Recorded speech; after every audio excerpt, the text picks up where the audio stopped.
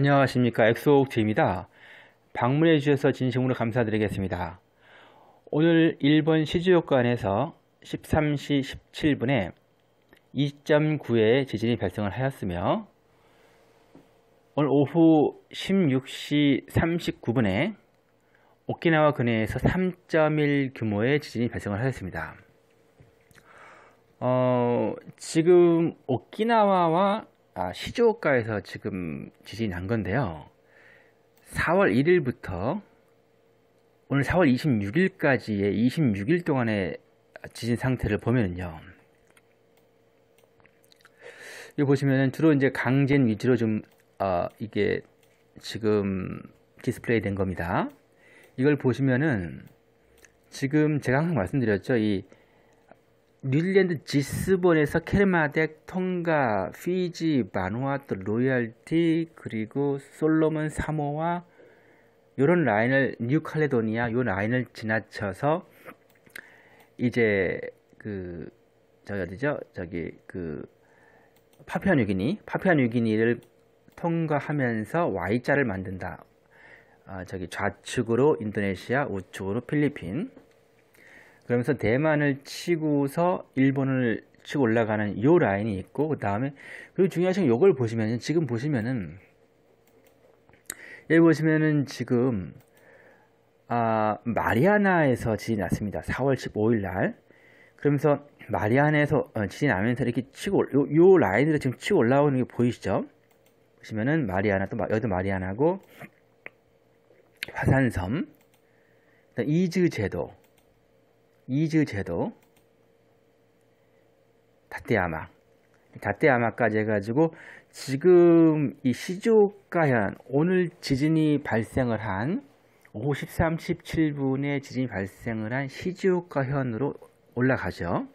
보시면은 그러니까 다시 보시면 이제 마리아나를 시작으로 해가지고 어, 계속해서 지금 마리아나 마리아나 하면서 이제 그러니까 이게 결국에는 제가 항상 말씀드렸던 그 두 개의 라인입니다. 그러니까 이제 뉴질랜드 지스본을 통과를 해서 케르마덱해서 이렇게 쭉 올라와서 이제 뉴칼레도 저기 저그 파피아 뉴기니에서 Y자를 그린 다음에 대만을 통해서 일본의 큐슈를 치는 그 라인 그리고 이 마리아나 제도를 통해서 오가사와라 화산섬 아, 이오지마 이즈 제도를 통해서 아, 이 간도를 치는 라인. 간도를 치, 꼭, 꼭 여기서 간도만 치는 게 아니죠. 지금 현재는 간도 지역으로 해서 지금 많이 올라가고 있죠. 현재는. 근데 이제, 아, 그, 저기 그 이즈 제도까지 올라온 다음에 여기 보시면은 지금 다테야마까지 올라왔죠. 다떼야마까지. 다떼야마까지 올라와서는 여기서는 이제 이 상황에서는 이 라인을 봤을 때는 지금 시즈오카라든지 여기 야마나시나 도쿄 쪽을 좀 치는 나가노하고 이쪽 라인이지 않습니까? 그 다음 위에는 지금 위로 올라가고 저기 보시면 미야기현이라든지 뭐 이렇게 올라가는 거지 않습니까? 이시노마키. 그러니까 지금 현재는 이런 라인으로 보이지만 보시면은 또 큐슈 쪽. 그러니까 지금 우선은 오늘 지진이 난 이 그 어디죠? 저기 오키나와 근해에서의 그 14시 저기 몇 분이 39분에 발생한 이 4월 26일 기준으로 볼 때는 오키나와 시즈오카니까 이 오키나와 시즈오카는 지금 어, 결론적으로 얘기해서 오늘의 오키나와는 지금 파피아를 통해서 아, Y자를 그리면서 큐슈로 올라온 그 라인에 오키나와 지진이 난 것이고 그리고 이제 그 파피아에서 마리아나를 통해서 오가사와라 이지오, 이오, 지마 화산섬 이지제도를 나데야마를 통해서 올라온 지진이 아, 오늘 오후 13, 17분에 아, 시즈, 시즈오카 현을 친 겁니다. 저는 그렇게 봅니다.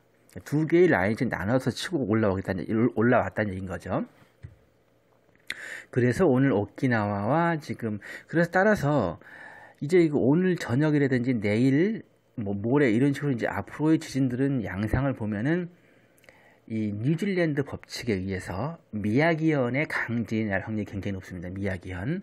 그리고 지금 이 Y자곡선을 거리면서 필리핀을 통해서 대만으로 해서 큐슈로 올라와서 지금 오키나와 왔죠. 이 오키나와에서 이제 아 저기 어디죠? 저기 그 구마모토 큐슈를 칠 확률이 높다.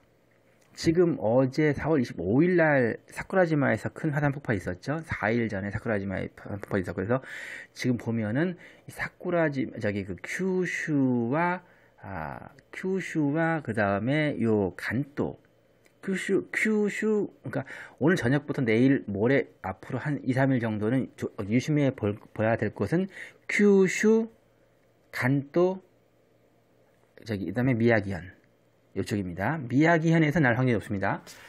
죄송합니다. 미야기현에서 뉴질랜드 법칙에 따르면 미야기 보통 이제 미야기현에서 많이 나지 않습니까? 그래서 그냥 지역을 찍은 다음 미야기현 아, 그 다음에 boundary를 좀 크게 한다면 큐슈와 아, 그 다음에 이쪽 간토 이렇게 볼 수가 있겠습니다. 시청해 주셔서 감사드리겠습니다. 구독과 좋아요 꼭 부탁드리겠습니다. 이 채널을 운영하는데 큰 힘이 됩니다. 감사드립니다.